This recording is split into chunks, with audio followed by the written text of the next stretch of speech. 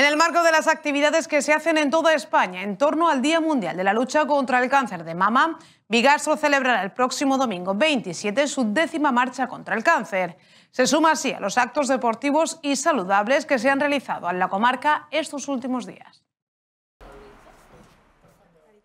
Bigastro reivindica la importancia de concienciar sobre la enfermedad y de colaborar con la Asociación Española contra el Cáncer en una nueva edición de esta actividad que ya lleva una década poniendo a los bigastrenses en marcha por una buena causa.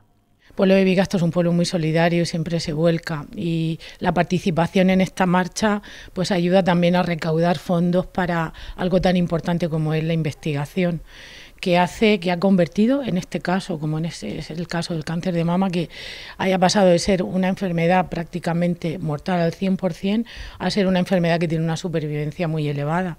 La salida y la llegada serán en el Parque Huerto del Cura, donde también tendrán lugar las actividades post-caminata, como un concierto de música, baile y la lectura de manifiestos.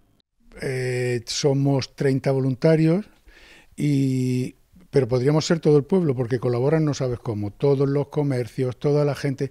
Cualquier iniciativa nuestra es un éxito asegurado. Lo digo yo, pero puedes preguntarlo donde quieras del pueblo. El precio de la inscripción será de 10 euros en favor de la Asociación Española contra el Cáncer e incluirá el regalo de una camiseta, una mochila, una bolsa de frutos secos y una botella de agua.